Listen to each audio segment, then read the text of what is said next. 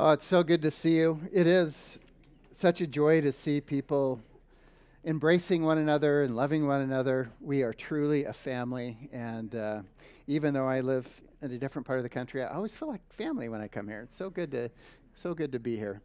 So we're going to do um, something a little different today. We're going to jump into the book of Genesis. If you want to turn there, uh, we're going to start in chapter 29. So I've been doing a lot of study about the life of Jacob. And man, if you if you read about Jacob, that man was a little messed up. Um, just some really interesting things that have gone on in his life, and and it's interesting because um, as we've been th- going through this, as I've been going through this study of Jacob, I've realized that this is much like a soap opera. um, it's like what could we name this soap opera? So I came up with one. As the Torah turns. so the Torah is the first five books of the Bible, if you're wondering what the Torah is. But it's an interesting thing because right from the beginning, we learn that God blesses humanity. And then we see man faltering and then man desperately looking for reconciliation. And I say as the Torah turns because it's a similar story throughout the Torah. And maybe for many of our lives, we are blessed by God. We falter and we desire reconciliation and redemption. The very first words God spoke to mankind in Genesis chapter 1, verse 28, were words of blessing. And God blessed them and said to them, Be fruitful and multiply and fill the earth and subdue it. Very first word God spoke to mankind. The question is, what is a blessing?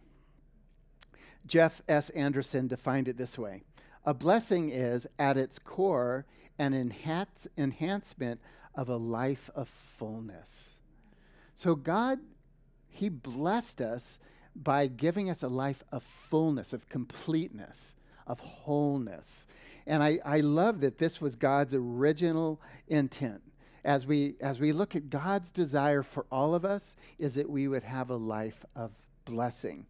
Um, and he says right there in verse 28 that the blessing is found in the bonds of the family. Be fruitful and multiply. And so we see that that's there, but it's also that blessing extends to God's divine plan for all of mankind, and that was to subdue the earth. Now, that word subdue is a really interesting word because it's a military term that means to take by control or to bring under control. And so, did God, did He, did He uh, create us to, to take control of the world in the sense of an army? No, not at all. In fact, this is why God created us in His image and likeness. Imago Dei. My um, Dr. Gary Breshears defines Imago Dei this way Imago Dei is the amazing ability an awesome responsibility to make visible the invisible attributes of our Creator and Redeemer. So, God created you and He created me in His image and in His likeness. He's given us these, this amazing ability, this amazing ability and responsibility to make His attributes visible to the world.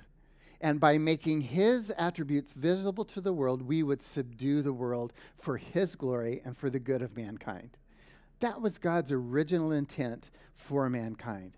However, as the Torah turns, continues, the divine plan was disrupted when Satan deceived Adam and Eve, leading to sin and a departure from God's image to mankind desiring to live in their own image man still has this deep desire, mankind still has this deep desire to take control of things, but in their own power and not in God's power. And I think probably if you're a human being, we all wrestle with that. We all like to control things. And um, I was once called a control freak. And at first, I'm like, I'm not a control freak, and I'll tell you why. And I tried, tried to take control of that situation. Um, and so it, it's in us to do that. So God created mankind with these, this, these unique abilities to subdue the world. He infused into us the ability to create and to communicate and to connect with God Himself and with one another. He spoke blessings to his beloved man, and then mankind was deceived and started not speaking blessings to one another. Adam started blaming Eve, and Eve started blaming the serpent, and that's when the blame game began. And that blame game continues on in many of our lives today. but what's interesting is that pattern has repeated itself through the Torah and through time today. We saw it with Abraham and Sarah, we saw it with Isaac and Rebekah, and today we're going to look at the lives of Jacob as he's married to two wives, Leah and Rachel. And um, this episode of As the Torah Turns is titled Baby Wars.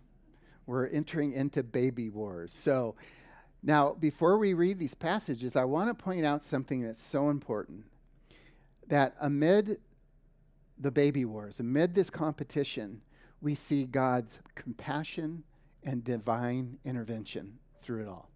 And I think that's important. I'll bring that up a few different times. But what we're going to see is that God sees, God remembers. So let's see how God sees. Let's read verses 31 through 35 of Genesis chapter 29. When the Lord saw that Leah was hated, he opened her womb, but Rachel was barren. And Leah conceived and bore a son, and she called his name Reuben, for she said, Because the Lord has looked upon my affliction, for now my husband will love me. She conceived again and bore a son, and said, Because the Lord has heard that I am hated, he has given me this son also and she called his name Simeon. Again, she conceived and bore a son and said, excuse me, and said, Now this time my husband will be attached to me, because I have borne him three sons. Therefore, his name was called Levi. And she conceived again and bore a son and said, This time I will praise the Lord. Therefore, she called his name Judah. Then cease, she ceased bearing. Father, we're thankful for the word of God, and we pray now, Lord, that the work of the Holy Spirit would open our hearts to a greater understanding of how we can learn lessons from um, this messed up family, Lord, and um, experience your blessing even in the midst of our struggles. We thank you and we praise you. In Jesus' name, amen. As I read these five verses, you can't help to see God's compassion on Leah is so beautiful. You see, Leah, she was truly the innocent party in this. If you go back and do the history um, of when um, Jacob fell in love with Rachel, but then Laban, uh, her father, set Jacob up and deceived him. He ended up marrying Leah, which apparently Leah wasn't good looking, and Rachel was really good looking. And we see that uh, he truly did love Rachel. But we see this, this, this life in this home as just being miserable because Jacob hated her. But God loved her. He saw her longing. I just love that when we when we think about our relationships even today as as maybe we're longing for a relationship with a husband or a wife or a family member or uh, even a church member or whatever it may be God sees it he sees it and the Lord of heaven and earth saw Leah was hated and blessed her by opening her womb, bearing four boys in succession. She had to have been thrilled. As a matter of fact, as you go through reading um, their names, you see the progression of how God was ministering to her. But what I want to point out before we talk about that is that God was good to Leah, even when her husband wasn't. Now, this, this is such a big thing. I've been married for 46 years, and I know that I've not always been the best husband. You know, and there's sometimes I'm like, oh man, you know, I just didn't love her. But as my wife cried out, did the Lord meet her? Isaiah 54 5 says, For your maker is your husband, the Lord of hosts is his name. Husbands are responsible to care for their wives, yet when they do not, God can meet the needs of a hurting wife, needs that may be neglected by the husband. I love this verse because who we are the bride of Christ. Each and every one of us. So when our our earthly husbands or our earthly spouses or our earthly children or whatever it may be are neglecting us or making us feel lonely, we have a heavenly Father through his son Jesus in which will come and to meet our needs. And so this is how God has been always. So as I said, Leah's emotions are evident in the names that she chooses for her children. Reuben means behold a son. She had to have been so excited, like, behold a son. Now remember that the blessing comes in fulfilling the earth, right? Be fruitful and multiply. And Leah's like, I am fruitful and multiplying. She had to be so excited with that first son. And then it says, um, Simeon, his name means hearing because the Lord heard that she was unloved. Levi means attachment, reflecting her hope that Jacob would love her. But her fourth son, Judah, his name means praise. And I love this. If there's one Okay, if there's only one example to follow in these two chapters we're going to be looking at of somebody to follow, and that is Leah right here praising God. She's praising God for what he has done. It's so beautiful to see how God sees and responds to Le- Leah's lonely heart, blessing her even when her husband hated her. But more importantly, despite her struggles, Leah plays a pivotal role in God's plan, being the mother of Judah from whom the Messiah would come. Isn't that amazing? Here she was this imperfect person, this lonely person, the one that felt neglected, but God used her in a great way. As Leah was praising God, it seems that Rachel had to been standing around watching all these babies be born, and she got a little envious. Let's look in chapter 30, verses 1 through 8. When Rachel saw that she had bore Jacob no children, she envied her sister. She said to Jacob, Give me children, or I shall die. Whew, that is, that's a soap opera line if I've ever heard one. Jacob's anger was kindled against Rachel, and he said, Am I in the place of God who has withheld from you the fruit of the womb? Can you feel the tension in the room? Oh my goodness. Then she said, Here is my servant Bilhah. Go into her, so she may give birth on my behalf, that even I may have children through her. So she gave him her, her servant Bilhah as a wife, and Jacob went into her. And Bilhah conceived and bore Jacob a son. Then Rachel said, God has judged me, and has also heard my voice, and given me a son. Therefore she called his name Dan. Rachel's servant Bilhah conceived again and bore Jacob a second son. Then Rachel said, With mighty wrestlings I have wrestled with my sister and have prevailed. So she called his name Naphtali.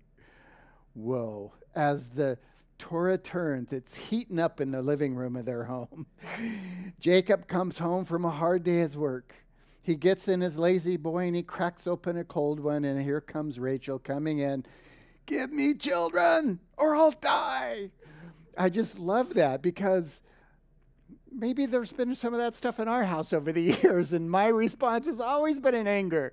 Oh, who am I in the place of God?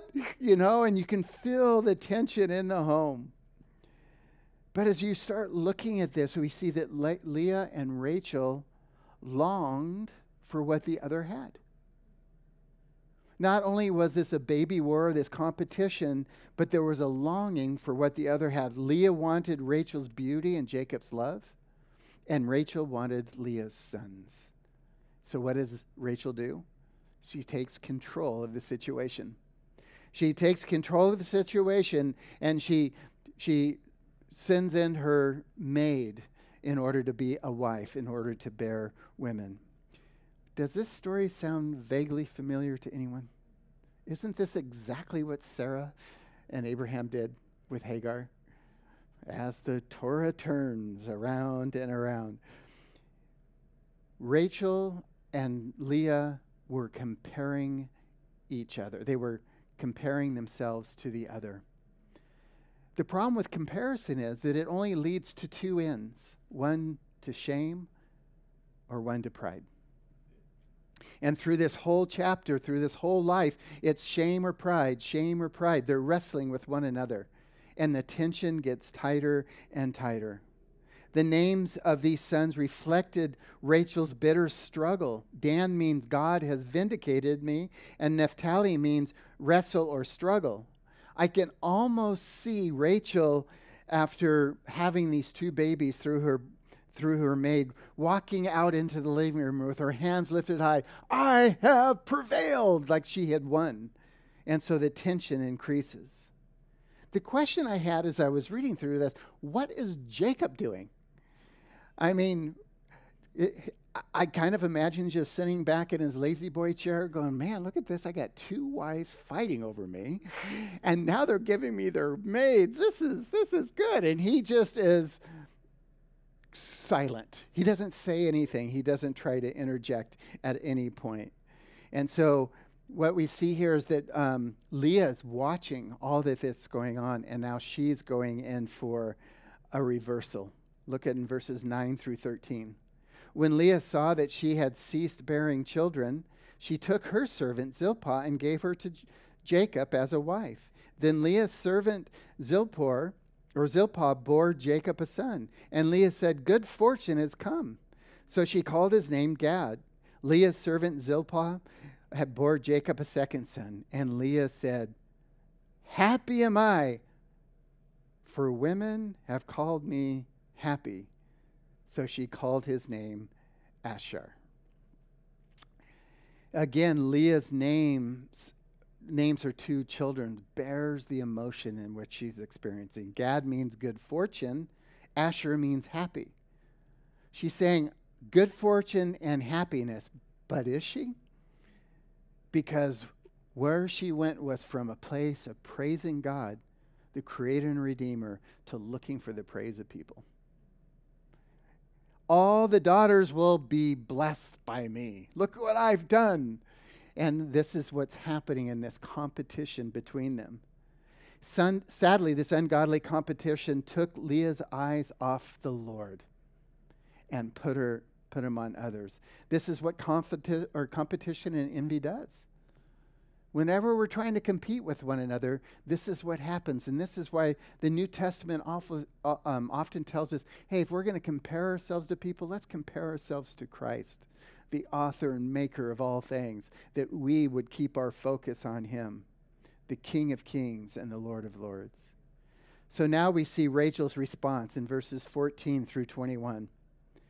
In the days of wheat harvest, Reuben went out and found mandrakes in the field and brought them to his mother Leah. Then Leah said, excuse me, then Rachel said to Leah, Please give me some of your son's mandrakes.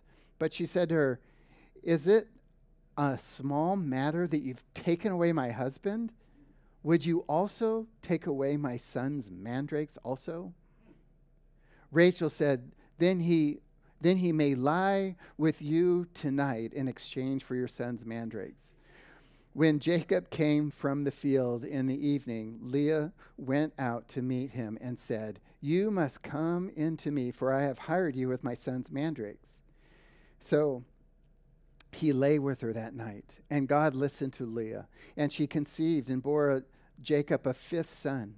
Leah said, God has given me my wages because I have I, I gave my servant to my husband.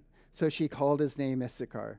And Leah conceived again, and she bore a sixth son. Then Leah said, God has endowed me with a good endowment. Now my husband will honor me because I have bore him six sons. So she called his name Zebulun. Afterwards, she bore a daughter and called her name Dinah. So I've read those passages numerous times, and every time I read them, I'm asking, what on earth is a mandrake? that word is so used so often. What is a mandrake? And it's interesting because it's a Hebrew word um, that describes a, a root that is known as the love apple. And so in that day and that time, they thought it would add in, increase fertility to the woman. And so these mandrakes were sought to be something really special. Um, I have to say, was it a placebo? I don't know what it was. I don't know what the mandrakes were, but there's no doubt that God is the one that opens up the womb. I'm just saying. But because Leah had these mandrakes, she knows that Jacob would sleep with her and have relationships with her, believing that there would be a greater likelihood to become pregnant. Again, remember, being fruitful and multiplying, most important thing to the Jewish family. And so she's like, I'm winning, I'm winning, I'm having more and more babies. These mandrakes revealed that there was still hostility between Leah and Rachel. Imagine what it must have been like in the home. You took my husband, now you want my mandrakes? I mean, the tension had to be so intense. Couple quick lessons that we can learn here. When we take control of a situation and we go outside God's original plan, things are going to be miserable. God's original plan was not that man would have multiple wives. God's original plan is that one man, one woman would become one flesh. And so what we see is they stepped outside of what God's original plan was, and things were miserable. There was tension in the home. The second thing, and it's almost like the writers of Leviticus were reading about this story when they in Leviticus 18:18 18, when it says it is forbidden for man to marry sisters. It's almost they're looking back, yeah, that that didn't work out so great. Let's not do that again.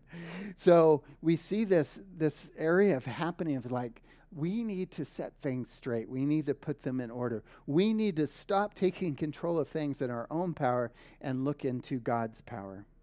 It's no surprise to me that this family from Abraham on down the line struggled. They wrestled in life because children reflect the atmosphere of the home. They're learning the things that are happening in the home and they're carrying those traditions on. Um, we were up in um, Crescent City, where my wife's from, not long ago, and uh, talking to her cousin who met a girl in high school at 17. She got pregnant. They had a baby. They're still married today. It's a great family. But their children um, at 17 met in high school. They had a baby, and their grandkids just did it again. We're like, man, do you not learn that maybe, you know, but it's just one of those things, unless something comes and breaks it off. So Leah calls his name Issachar, meaning reward. Leah saw that the son uh, was a reward from God. Then Leah bore Jacob a sixth son and named his name was Zebulun, and his name means dwelling. So in the pain of her heart, she's still waiting for her husband to love her, to care for her. And she hoped the quantity of sons that she would have would spark him to love her. So it's amid this ungodly competition that God saw and he responded Leah's pain and affliction with compassion and blessing. I just love this. This is God's character. This is his attributes of showing that beautiful love and compassion, even when things are amiss. The last few verses, 22 through 24, so we've seen that God sees and he responds, but now we see that he, God remembers and he hears. Look in verses 22 through 24. Then God remembered Rachel, and God listened to her and opened her womb. She conceived and bore a son and said, God has taken away my reproach. And she called his name Joseph, saying, May the Lord add to me another son. This is so beautiful to me. Here, Rachel was wrestling with God. She's wrestling with Jacob. She's wrestling with Leah. She's basically a miserable, miserable person. But God still answers her prayer. God hears, or God remembers, and He hears our prayers. And she gives name to jo- uh, birth to Joseph. Joseph's name has a double meaning, which is really interesting. Um, God has taken away my reproach is one meaning, but the other is add another son. Why that's interesting is apparently the baby wars is not over the competition is still going on, and Rachel's wanting another son. And sure enough, by the time we get to chapter 35, don't worry, we're not going to chapter 35 today. Benjamin is, is born. So we see that God answers or remembers and hears. So as we're going through this story, this episode of the baby wars, as the Torah turns, you can often come back to this place and ask, God, are you in control? You know, as, you read these stories, it's like, no, man just takes control and does what he wants to do, and they're just going to live miserably, and God's plan is being thwarted. But it's not. Is God truly in control? Uh, in his book, Chosen But Free, Norman Geisler wrote this A God who is before all things, beyond all things, creates all things, upholds all things, knows all things, and can do all things, is also in control of all things. Com- this complete control is called the sovereignty of God. As the Westminster Confession of Faith puts it, God from all eternity did, by the most wise and holy counsel of his own will, freely and unchangeably ordain whatever comes to pass. Nothing catches God by surprise. All things come to pass as he ordained them from all eternity. Romans 8:28 and we know that all things work together for good for those who love God and are called according to his purpose. That word together in Romans 8:20 is where we get our English word synergy. So what what Paul is writing there is like, hey, all the good things, all the bad things, all those ugly things that's happening in your life, those are working out better for God's glory and for your good. Maybe not uh, e- not immediate good, but eternal and ultimate good is what he's saying. And so he's he's saying, hey, so lean into the Lord. When things are miserable in your home, when you're trying to take control of things and things are not going well, lean into the Lord. Why? Because it is God who opens and closes the womb. It is God who gives life. It is God who is control of our story and this story? What is the consequence or what is the outcome of this story? God was using this to shape what would become known as the 12 tribes of Israel. Isn't that crazy? Using these flawed people to accomplish his perfect will for the 12 tribes of Israel. So the question is because we can't leave it here, the question is this What can we do differently. What could have Jacob and Rachel and Leah done to experience God's blessing in the midst of all this? How could they have behaved differently? Uh, as I was putting this study together, I was reminded of a couple that I met in Israel back in 1992. And they were a true, oh, they were a true Leah and Jacob. I mean, she was such a sweet, lady, um, but controlling. And he was, I don't even think he was a believer. I'm quite certain he wasn't a believer, wasn't a believer. But it was almost like one day she said, We're going to Israel. And he says, I don't want to go to Israel. And she said, You're going to Israel. And so they ended up in Israel. And being around them was not nice. It, oh, the tension. Oh, it was horrible. About three years later, I run into them at Calvary Chapel, Costa Mesa. We're walking through the quad, and there they are.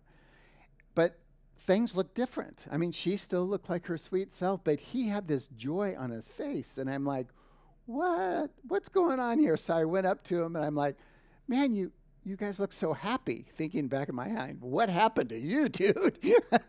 and this is what he said to me.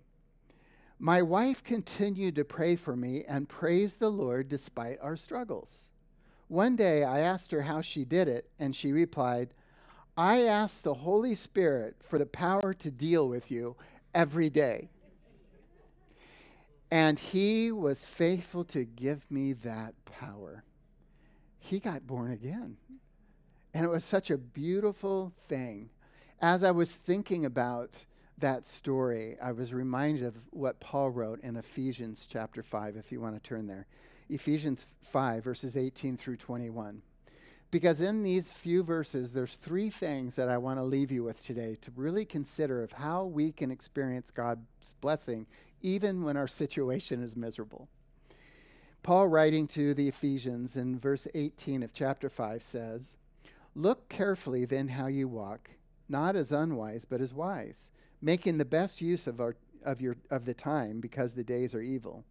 Therefore, do not be foolish, but understand what the will of the Lord is. And do not be, get drunk on wine or with wine, for that is debauchery. But be filled with the Holy Spirit, addressing one another in psalms and hymns and spiritual songs, singing and making a melody, melody to the Lord with your heart, giving thanks always for everything to God the Father in the name of our Lord Jesus Christ, submitting to one another out of the reverence of Christ. So there's three things that we're going to pull out here, but before we pull those out, I need to point out that Jacob, Leah, and Rachel walked unwisely. They walked foolishly. They didn't understand what the will of the Lord was. And so they never inquired of the Lord. And so Paul is saying, do not be drunk on wine. He's saying, do not, do not take care of your problems the way the world does because that's going to lead you to doing things that you would not normally do, like debauchery. You know, that wouldn't be the normal thing unless you're drunk. He's like, no, rather, first thing, be filled with the Holy Spirit. Be filled with the Holy Spirit. That word filled means to make full or to fill. The word is used to fill a vessel or a hollow place. And the grammar, the tense that this is, is it's the imperfect tense, which means that we are to continually, continually or constantly be filled with the Holy Spirit. So as I was thinking about what vessel needs to be emptied of self, needs to be emptied of things that would be hindering it from being filled. And I thought of the human heart. The human heart is filled with self desire. The human heart is filled with self control. It's, it's in us. That's the human part of us. So, in a sense, Paul is saying, get rid of that. Empty yourself of yourself that the Holy Spirit may have be able to fill you. And I just love that picture. Had Leah and Rachel, Leah and Rachel's envy would have been mitigated by being filled with the Holy Spirit leading them to exhibit patience and kindness rather than jealousy and competition. So, emptying yourself of self, giving room to, for the Holy Spirit to fill. The second thing is singing songs of praise. Uh, the word praise is syn- synonymous with the word thanksgiving that we just read. Being thankful for all things, you know, always being thankful. As a matter of fact, the words praise the Lord the phrase praise the Lord is used 250 times in the Bible. Um, you know, if God says something one time, we should probably listen. What, what should we do if He said it 250 times? right? We should really pay attention to what that is. And um, the 250 times that it's used, it's always people being touched by God's mercy and goodness, thanking Him for what He's done amidst their wrestlings and struggles. Praise the Lord. It's the kind of praise that empties the heart of self and fills it um, and, and blesses the heart of God and blesses the heart of others. The third, and you know, had Jacob been praising God, I was thinking, remember, I talked about how Jacob was just sitting back watching the, the women wrestle over him. Had he been praising God, singing psalms and hymns and spiritual song, making a melody in his heart, in his home, there wouldn't have been the havoc in the home. There would have been harmony in the home. And so, as as we think about things that we should do, um, we should come to that place of being filled with the Holy Spirit. The third and last thing is submit to one another out of the reverence of Christ. Nobody actually likes the word submit. It's like, oh, that's a five letter word. Like, that's a bad word. But it's actually a great word. It simply means to place yourself under the control of another. Do you know who did that perfectly? Jesus. I mean, when you read through the Gospels, Jesus did nothing without inquiring of the Father first. He was po- fully submitted to the Father, fully submitted to everything that he would do and pray and, and ask for God's guidance. So, what Paul is saying here is that, hey, you should be fully submitted not only out of the reverence, out of fear of the Lord, but also to one another. How do we do that? Well, we invite Jesus into our relationship. We say, okay, Jesus, I'm having tension, these problems are happening. I want to invite you in to um, into this relationship. It's really interesting because in in chapter 5 verse 21 of Ephesians, it's like a hinge. We talked about the Holy Spirit. We talked about singing songs and praises and then submitting to one another and then it opens the door into what follows it. And what follows it? Marriages, children, and the workplace. You know why that's so interesting? If you go back to Genesis chapter 3, after the con- and look at the consequences of the fall, it's with marriages, children, and the workplace. So here's the reality Satan wants to derail you and me, just like he did Adam and Eve, by hitting us hard when it comes to the family. I remember uh, when my wife and I first started going to church, um, we were in our early 30s, you know, and had a six year old son. And man, we would, we would get the kid packed up, you know, and get in the car. And on the way to church, inevitably, we'd get in, in an argument. Sometimes just a knockdown, drag out fight. I could not tell you one thing we fought about, but it just seemed like yelling and screaming and my poor son listening to everything that we're saying and oh yeah. And then one day it hit me. Like why do we always fight on our way to church? I, probably none of you do that. But then it hit me like satan doesn't want us to go to church feeling holy and ready to receive the lord. He wants to destroy it and devour it. So we put a plan together immediately. We're like, okay, this is what we're going to do. We are going to drive separately. we didn't actually do that. but the idea is like, okay, no, let's not drive separately. Let's invite Jesus into the conversation. And so we intentionally, and we still do this all these years later, like we do not talk about anything outside of the Lord on the way to church.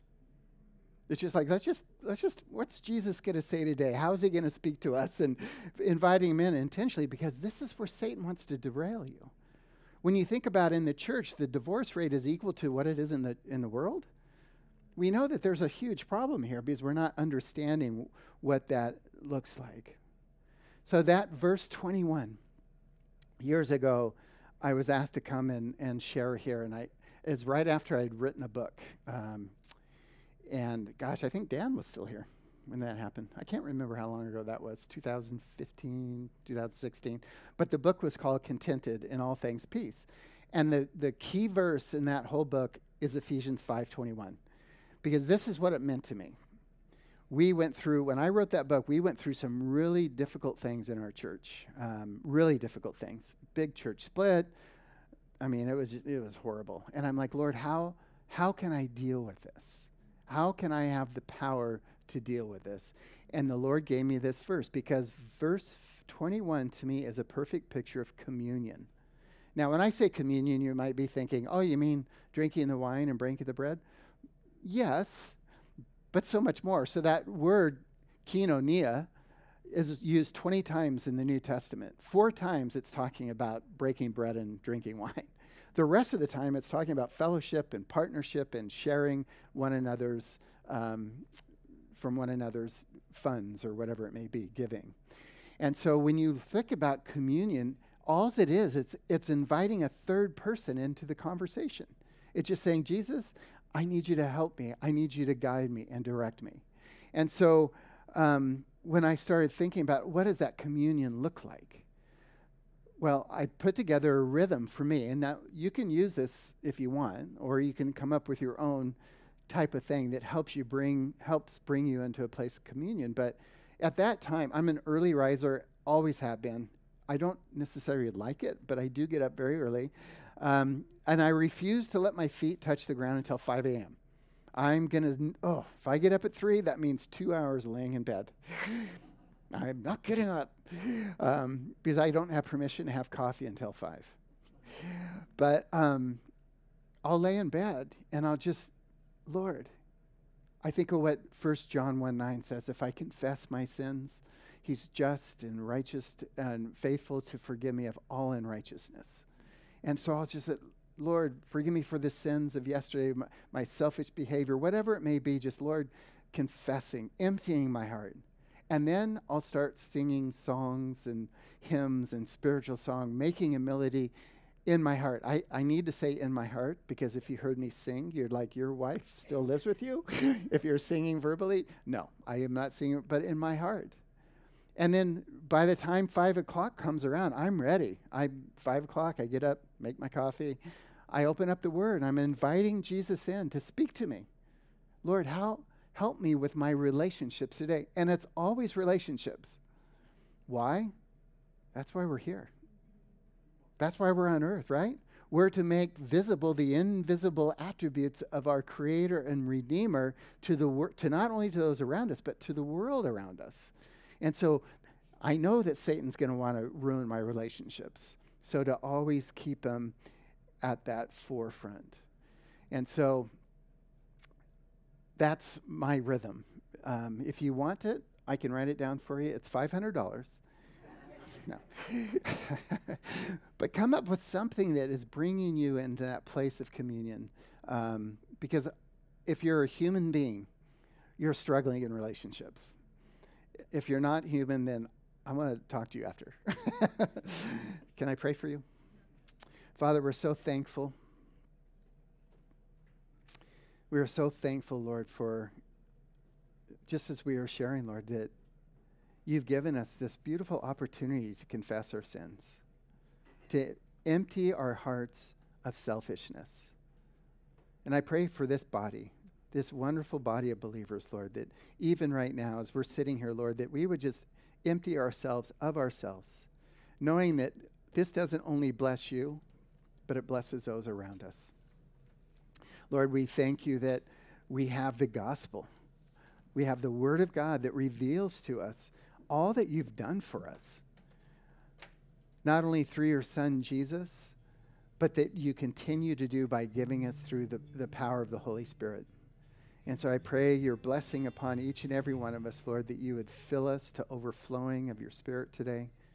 God, that we would submit to one another in the reverence of Christ. That our relationships would not only make an impact on ourselves, but on everyone around us. That the world would see that there is hope. And um, we're just so thankful that you've chosen us uh, to represent you, to make visible those invisible attributes. In Jesus' name, amen.